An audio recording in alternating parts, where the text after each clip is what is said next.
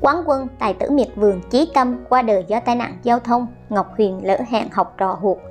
Sáng ngày 7 tháng 12, giới nghệ sĩ bàng hoàng khi nghe tin anh Nguyễn Chí Tâm, quán quân chương trình Tài tử miệt vườn năm 2019, đột ngột qua đời vì tai nạn giao thông khi đang đi diễn ở Tây Ninh, hưởng dương 44 tuổi. Nguyễn Chí Tâm sinh năm 1979 tại Đức Hòa, Long An. Anh gây ấn tượng khi năm 2019 tham gia cuộc thi Tài tử miệt vườn do Đài Phát thanh Truyền hình Đồng Tháp thực hiện, vượt qua cả ngàn thí sinh để giành được ngôi vị quán quân. Các giám khảo trong cuộc thi đều bày tỏ rất mê giọng ca của Chí Tâm, bởi theo Kim Tử Long, giọng anh Tâm hao hao giống giọng danh ca Minh Cảnh. Có thể nói trong các mùa thi của tài tử miệt vườn, Chí Tâm được xem là giọng ca nổi trội. Không kỹ thuật, chất miệt vườn rất rõ và theo nhiều người là nghe câu đã lỗ tai. Không chỉ chinh phục được người nghe bằng giọng hát, Chí Tâm còn được quan tâm bởi anh có hoàn cảnh rất khó khăn. Chí Tâm xuất thân trong một gia đình nghèo khó nhưng mê hát, lớn lên vì làm ăn thua lỗ, anh mất nợ và hôn nhân tan vỡ. Anh phải phiêu bạc làm thuê làm mướn và cuối cùng được một ông chủ thương gầy bày việc cho vợ chồng anh coi. Anh còn làm thợ hồ và nhiều công việc khác để kiếm sống. Thấy anh ca hay, hàng xóm tự đăng ký cho anh tham gia tài tử miệt vườn. Ngày đi thi, vợ chồng anh vay mượn 500.000 đồng để có tiền đổ xăng chạy xe máy từ Long An về Đồng Tháp để thi. Ngay khi anh đoạt giải quán quân năm 2019, hàng loạt tờ báo đưa tin anh Chân Việt đoạt quán quân tài tử miệt vườn. Sau đó, do cả nước vướng vào dịch bệnh, Chí Tâm cũng không có nhiều sau diễn, vợ anh mắc bệnh tim, bản thân anh sức khỏe cũng kém và con còn nhỏ dại vì vậy, Chí Tâm cố gắng bươn chải tìm nơi hát để kiếm tiền lo cho gia đình.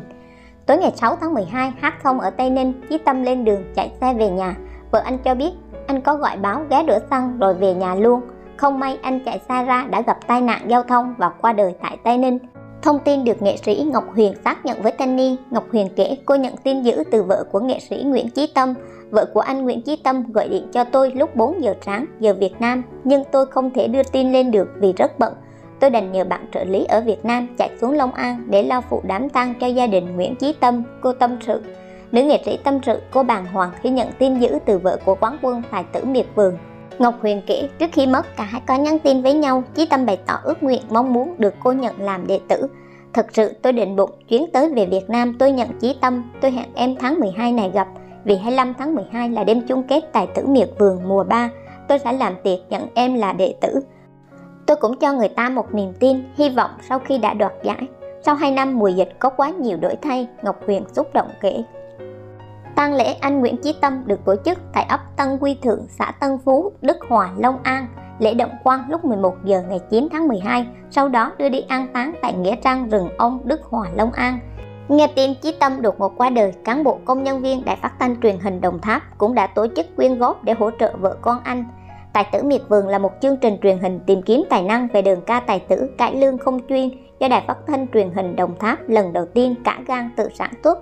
Ông Bùi Thanh Hồng, giám đốc Đài Phát thanh truyền hình Đồng Tháp từng chia sẻ, Đường ca tài tử là đặc sản của văn hóa miền Tây nên chúng tôi muốn thực hiện những chương trình quảng bá văn hóa miền Tây. Vì kinh phí đại địa phương có hạn nên mình xác nhận làm game nhỏ nhỏ, làm sao cho mọi người đam mê có thể tham gia qua đó hy vọng tìm kiếm được những tài năng trẻ để tiếp nối loại hình nghệ thuật dân tộc. Tôi nói với mọi người lần đầu tiên mình làm thế nào cũng sẽ gặp phải những hạn chế khó khăn nhưng cứ nhào vô làm vừa làm vừa học